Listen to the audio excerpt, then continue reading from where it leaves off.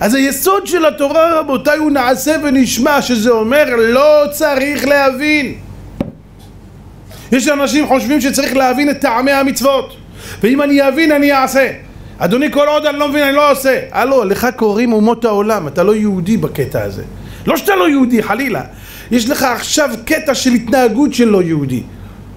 יהודי סוגר את העיניים ואומר ריבונו של העולם שמע ישראל אדוני אלוהינו אדוני אחד שמת לב שבקבלת הנוחות שמיים סוגרים את העיניים לא שואלים שאלות.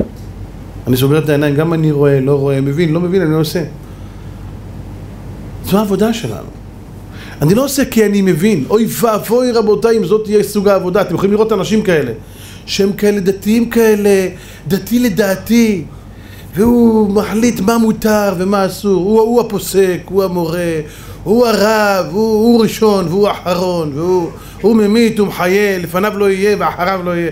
איך הביתה אתה והתורה שלך, אין לך תורה, אין לך כלום. אתה שקרן. תורה מקיימים כי השם אמר, לא כי אני מבין.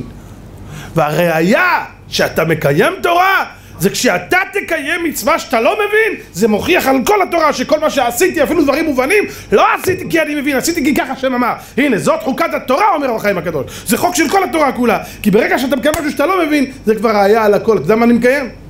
כי כך ציווני בורי למה אני מניח תפילין? שמע הסינים אמרו שזה לוחץ על נקודות מסוימות במוח וזה מאוד בריא. איך הביתה עם הסינים שלך? השם מסיני בא לא מסין. מסיני מה אתה רוצה מהסינים? זה מבלבל את המוח. מה אני עושה בגלל סינים? תכף נתחיל לעשות יוגה ולהתחיל לעלות באוויר. זה מה שאני עושה. אני מקיים מצווה כי כך ציווני בורי.